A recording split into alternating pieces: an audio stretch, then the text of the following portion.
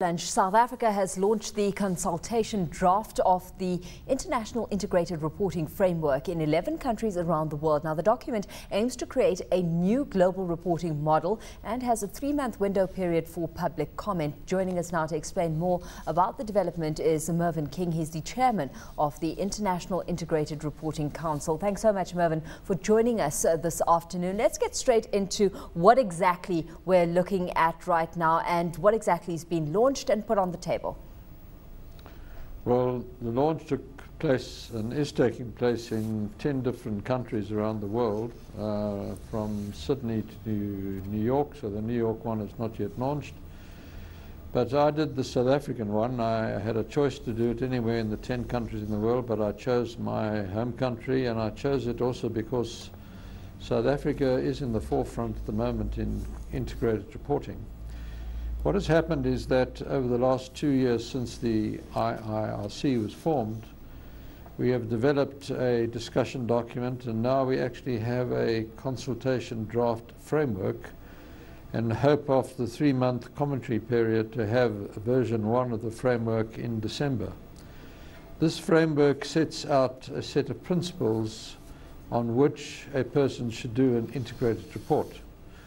And an integrated report is the result of the collective mind of the board being applied to the critical financial, critical sustainability issues and putting that in concise, clear and understandable language in an integrated mm. report so that the user can make an informed assessment that the business of that company will sustain value creation in the longer term.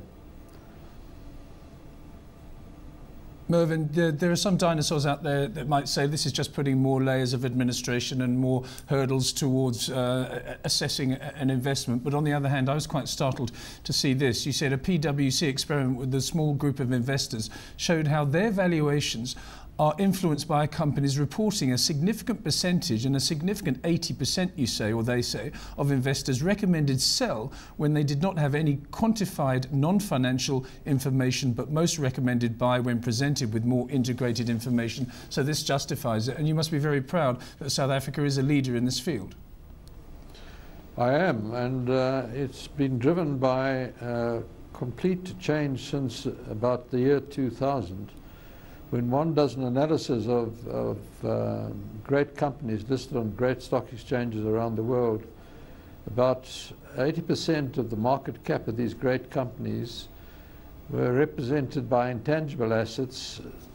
Definition of an intangible asset is one that is not an additive in a balance sheet according to financial reporting standards. So it was accepted by the International Federation of Accountants, IFAC, which is the umbrella body for all societies, as is the South African Institute of Chartered Accountants a member, that financial reporting, although critical, was not sufficient. It just was not giving the user the complete picture of the true value of a company, how it impacted on society, the environment, and how it was going to sustain value creation in the changed world of the 21st century where you and I personally and uh, you and I as directors of companies have directed companies who are the biggest users of natural assets on planet Earth on a basis almost as if um, natural assets were not finite. Well, they are finite and diminishing. Meanwhile, population growth is there. We've got 7 billion people now, and in 30 years' time we'll have another 2 billion. And yet we have a diminishing natural asset base on which we beneficiate to satisfy that demand for product.